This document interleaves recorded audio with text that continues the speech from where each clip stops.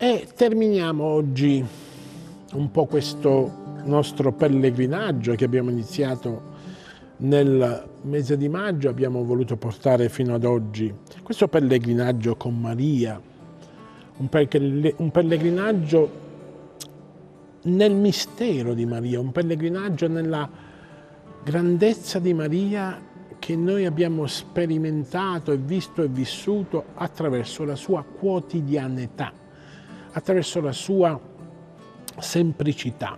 Maria è una donna, come ho detto, certamente prescelta da Dio. È una donna grande perché è umile. Maria è una donna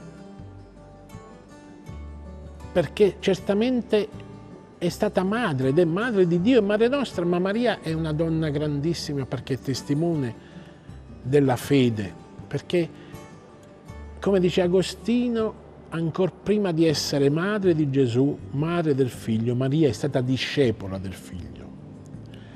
E questa madre è l'invenzione più bella che il Padre Eterno si sia mai eh, inventato per salvarci, per continuare a salvarci dopo l'altra grandissima, tra virgolette, invenzione che è l'incarnazione di Gesù.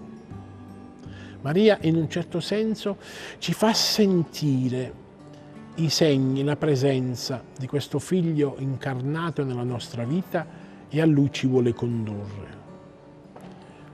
Con Maria è possibile rinascere sempre, in ogni luogo, in ogni posto, in ogni momento. Nelle apparizioni di cui ci siamo occupati abbiamo visto che Maria è lei che viene incontro all'uomo, è lei che vuole appunto salvarci, è lei che manifesta il suo amore, l'amore del figlio per ciascuno di noi, incarnandosi nella nostra quotidianità, incarnandosi nella nostra semplicità di vita, ma anche incarnandosi nei nostri dolori, nelle nostre miserie, nelle nostre difficoltà e nei nostri problemi. Allora, voglio chiudere queste nostre riflessioni riprendendo una parte delle conclusioni che Sor Catherine Aubin, questa suora domenicana, che è stata un po' il cui, il cui testo, la preghiera di Maria, è stata un po' la guida eh, di, eh, di questo nostro pellegrinaggio verso la speranza insieme a Maria.